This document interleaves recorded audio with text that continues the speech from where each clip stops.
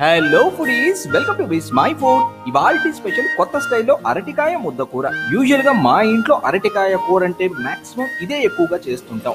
చాలా ఈజీ అండి. టేస్ట్ మాత్రం ఫెంటాబిలస్గా ఉంటుంది. పుల్లగా కారంగా ఘాటుగా కమ్మగా. ఆఖరికి తిన్న తర్వాత వాహ్ సూపర్ అనిపించేంత బాగుంటుందంటే నమ్మండి. లెట్ స్టార్ట్ కుక్కర్లో రెండు పచ్చి అరటికాయ తొక్కతోనే రెండు ముక్కలుగా చేసి నీళ్ళు పోసి రెండే విజిల్స్ హై ఫ్లేమ్ మీద రానివ్వండి.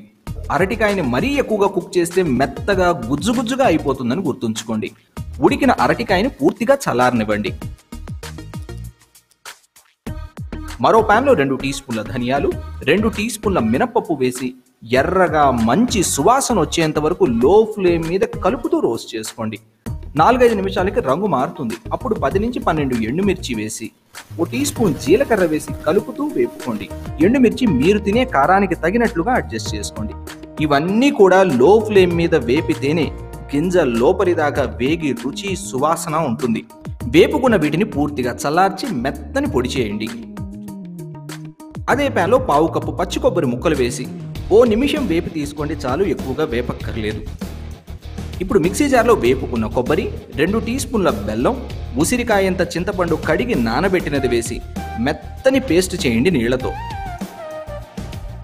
ఇప్పుడు మెత్తగా గ్రైండ్ చేసుకున్న పేస్ట్ ధనియాల ఎండుమిర్చి పొడి రుచికి సరిపడా సాల్ట్ వేసి బాగా కలుపుకోండి. పేస్ట్ మరీ చిక్కగా అనిపిస్తే కాసి నీళ్ళు కలుపుకోవచ్చు. ఈ పాటికే అరటికాయలు పూర్తిగా చల్లారిపోయి ఉంటాయి. వీటిని తొక్క తీసేసి కచ్చా పచ్చాగా మెత్తగా మెదుపుకోండి. వేడి మీదే మెదిపితే అరటికాయ పూర్తిగా గుజ్జుగా అయిపోతుందని గుర్తుంచుకోండి. అలా గుజ్జుగా అయితే కూర అంత రుచిగా ఉండదు. ప్యాన్లో రెండు టేబుల్ స్పూన్ల ఆయిల్ హీట్ చేసుకోండి. ఇందులో ఓ టీ స్పూన్ ఆవాలు వేసి వేపుకోండి. అలాగే ఓ రెబ్బ కరివేపాకు కూడా.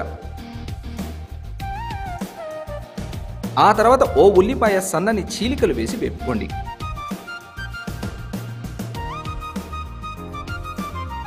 ఇందులోనే పావు టీ స్పూన్ పసుపు వేసి ఉల్లిపాయలు మెత్తబడేంత వరకు వేపుకోండి. ఉల్లిపాయలు మెత్తబడ్డాక అరటికాయ ముద్ద వేసి రెండు నిమిషాలు వేపుకోండి. ఆ తర్వాత కలిపి ఉంచుకున్న ధనియాలు కొబ్బరి ముద్ద అలాగే పావు కప్పు నీళ్ళు పోసి నిదానంగా పట్టించండి. మరీ ఎక్కువగా కలపకండి. ఉప్పు రుచి చూసి ఈ స్టేజ్లో అంటే ఈ నీరుండగానే అడ్జస్ట్ చేసుకోండి. కూర దగ్గర పడ్డాక ఉప్పు వేస్తే సరిగ్గా కలవదు. మీడియం ఫ్లేమ్ మీద కలుపుతూ ఉంటే పదిహేను నిమిషాలే కూరలోని చెమ్మ పోతుంది. అప్పుడు కాస్త పొడి పొడిగా అవుతుంది. అలాగే ఉండాలి. రెసిపీ చాలా సింపులే బట్ టెక్స్చర్ని పర్ఫెక్ట్గా ఫాలో అవ్వాలి. అందుకోసమే అరటికాయని మరీ మెత్తగా ఉడికిస్తే ఇలా కలిపేటప్పుడు చిదిరైపోతుంది. కూర చెమ్మారిపోయి ఇలా ముద్దగా అయ్యాక దింపేసుకోండి. నచ్చితే ఆకరణ కొత్తిమీర తరుగు వేసుకోవచ్చు. చాలా సింపుల్ కర్రీ బట్ టేస్ట్ మాత్రం ఫెంటాబులస్గా ఉంటుంది. వేడి వేడి అన్నంలో నెయ్యేసుకొని తింటే. నేను మస్ట్ ట్రై అంటాను. మరి మీరేమంటారు? అదే విషయాన్ని కమెంట్ చేసి చెప్పండి. అలాగే తయారు చేసిన వారు రెసిపీ పిక్ని విస్మై ఫుడ్ ఇన్స్టాగ్రామ్లో పోస్ట్ చేయండి. బై ది వే డీటెయిల్డ్గా రెసిపీని చదువుకుంటూ చేయడానికి Vismai food dot com website visit చేయడం అస్సలు మర్చిపోకండి.